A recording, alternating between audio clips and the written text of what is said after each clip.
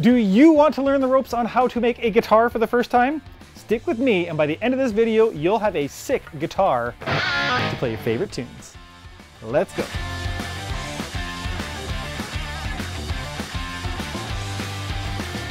Hey there CNCers, Scott here again for Sienci Labs. I'm going to show you how to do it with tool paths and cuts you're already familiar with, profile and pockets. This is the real beginner guitar tutorial. We're back and we're ready to rock. Time to shred. Let's be upfront, we learned a lot creating the first epic guitar tutorial series. So what makes this guitar tutorial different than the last guitar tutorial? Well, we're going to simplify the process big time. We're going to focus on cutting out just the body we're going to use a pre-made neck. There will be no 3D models in this project, profile and pocket cuts only.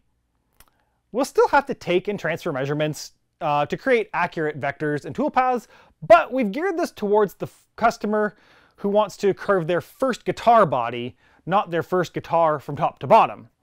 Small difference, but a big difference. This video is totally geared towards a flat style body like a Tele.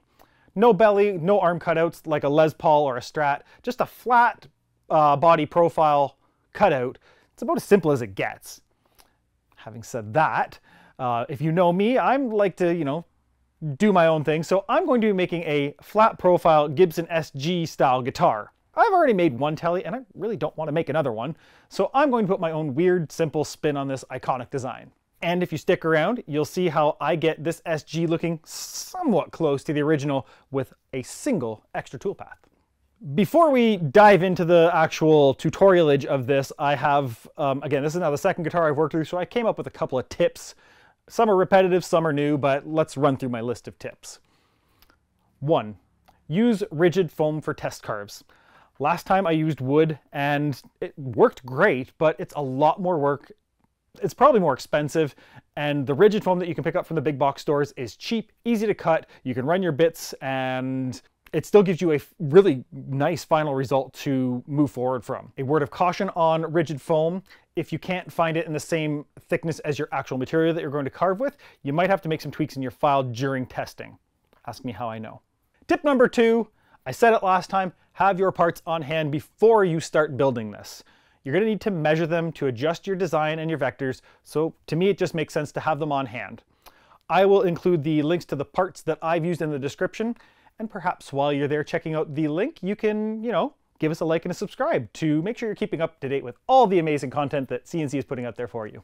Ding. Tip number three. This one's a little bit tricky, but document everything you can so that you remember what you're doing. I have a couple of notebooks that have scribbles all over them. Some of my files have notes in them. If you document something, it will typically help you remember what you did and what you changed so that if you need to go back, you can. Tip number four, being able to recall and replicate measurements is priceless. This kind of goes in with the documenting things. For example, I used tape on the back of the neck heel to measure up 70 millimeters from the base, which gave me a specific location to measure the width of the neck heel along that line, so that when I was drawing my vectors, I had a reference measurement, not just some arbitrary number height-wise.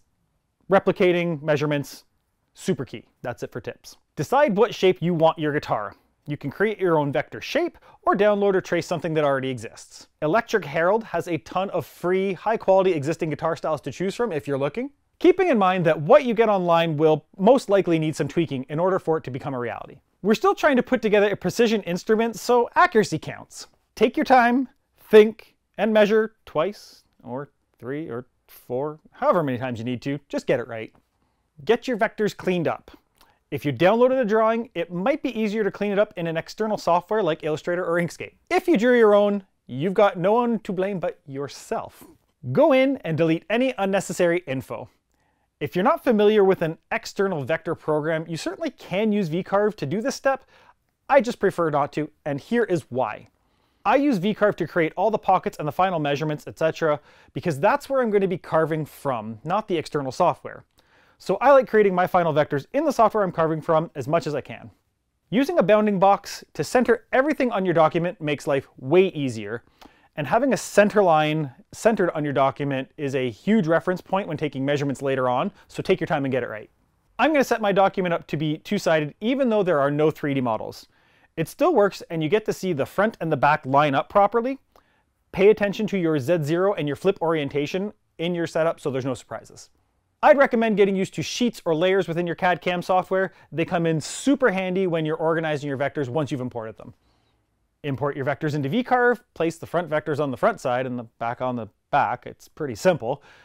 The plans you have will likely need some amount of modification to accommodate the measurements of your actual on-hand parts.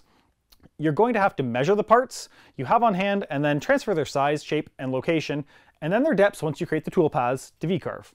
That's what I did for the neck pocket, pickup pockets, and all of the holes required. I know all these red boxes look confusing, but they're actually just size placeholders from parts I've measured. I use them as reminders and I use them to align so it's as accurate as it can be. Setting the locations of these things can be a bit more tricky unless you have an existing guitar to measure from, which would be a great resource if you can get your hands on one.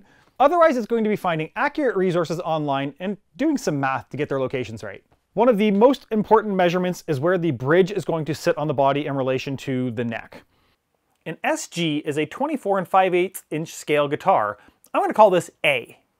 If you divide A by 2, it gives you the halfway point between the nut and the bridge, or you can just use the 12th fret on the neck. The way I figured out where my bridge is going to sit was by measuring from the base of the neck heel to the 12th fret. I'll call that B. I measured the bridge thickness and divided it by 2 to find the center of the bridge. I'll call that measurement C. So the formula reads like this. A divided by 2 minus B plus C equals X. And X is where your bridge should sit. This all sounds complicated, but it's not that bad, and hopefully this infographic helped clear up the mud. To get the left and right locations of all of these things, I measured the bridge width from the center line on the body, and I've included some notes in my file to help you figure out the locations for your build. The volume, tone, switch, and jack holes were, in my opinion, less important if their location wasn't spot on. The files I had were pretty decently accurate, and after my first test carve, I adjusted them to my taste. They needed, you know, a little fudging here and there. The control cavity plate vector was created the old school way. I'm going to date myself here. I traced around the plate that came with the kit uh, on a piece of paper, scanned it, imported the image into vCarve, and then traced it to create the vector for the plate. I offset the same trace line to create the control cavity vector. The neck, pickups, bridge, tailpiece, backplate, and control cavity were pocket toolpaths. I measured the depth of those parts, and when I created their toolpaths, assigned those depths. It was fairly straightforward. Volume and control holes required were profiles, and had to go just past the depth of the control cavity. A big reason for doing another guitar project was to show off these fancy new roughing bits we're selling. They were made specifically long enough to go through thick projects like guitar bodies. The roughing bit chews through wood like a beaver and makes really short work of the toolpaths. However, because of the serrated edges, it's not meant to be a finishing bit.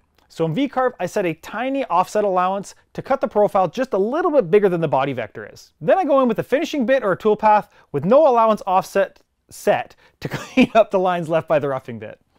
Add some tabs to the roughing and finishing profile passes and voila, you have your toolpaths. Remember when I said I had a little hack that would help give this SG some of its original flair back? this is what I came up with. If you use a slightly modified version of the profile toolpath that cuts out the body, plug in a 90 degree V-bit, you can put a half decent bevel all the way around the front and back of this thing. Oh yeah, it's a total hack, but in my opinion, after a little node tweaking, it's absolutely worth adding. Is it as sexy as the actual bevels on an SG? No. But I thought it would pay better homage. Is it homage or homage? Hom homage. Better homage. I'm asking the Brazilian guy how to say a French word. Homage. It's not homage. It's not homage. It's homage. Homage. Homage. But I thought it would pay better homage than just hand routing around over around the edges. The last set of vectors to create are the index holes for flipping. The first guitar build, as well as the Cottage Country CNC paddle videos, go into a ton of detail about flipping. So if you're not sure about it, check those videos out.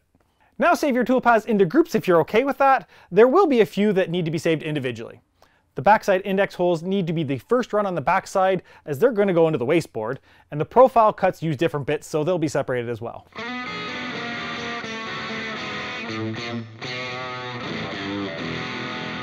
So that's it for the first video.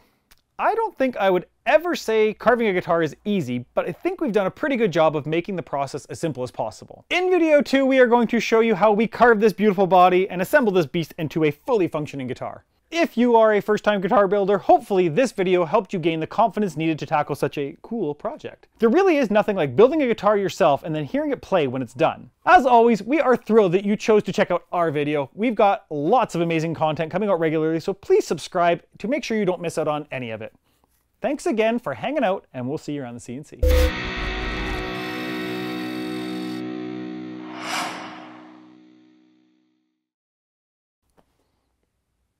Did it sound like I say should should sit?